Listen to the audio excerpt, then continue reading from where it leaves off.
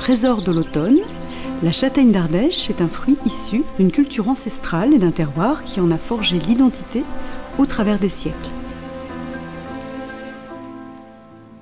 La grillade des mariniers du Rhône, également appelée givordine, est un vieux plat lyonnais que les mariniers du Rhône laissaient mitonner longuement au fil de leur descente du Rhône. Ils liaient ce plat avec des anchois quand ils arrivaient à destination dans le sud. Mondialement connue, la châtaigne d'Ardèche a obtenu l'appellation d'origine protégée en 2014. Cultivée dans les châtaigneraies caractéristiques du territoire, elle se récolte de mi-octobre à mi-novembre.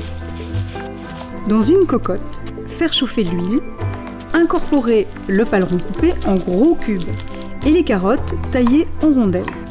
Laissez mijoter à feu vif et là, saupoudrez de farine, mélangez bien et recouvrez de vin rouge. Ajoutez ensuite les châtaignes entières et laissez cuire encore une demi-heure, toujours à feu très doux. Mixez des anchois avec le beurre ramolli. Incorporez cette préparation dans la cocotte 5 minutes avant de passer à table. Le domaine Saladin se situe à Saint-Marcel d'Ardèche, un village méridional des côtes du Rhône, à mi-chemin entre Montélimar et Avignon. La Syrah domine ici l'assemblage par ses beaux arômes de cassis et de poivre, mêlés aux senteurs d'olive noire, un accord qui frise la perfection.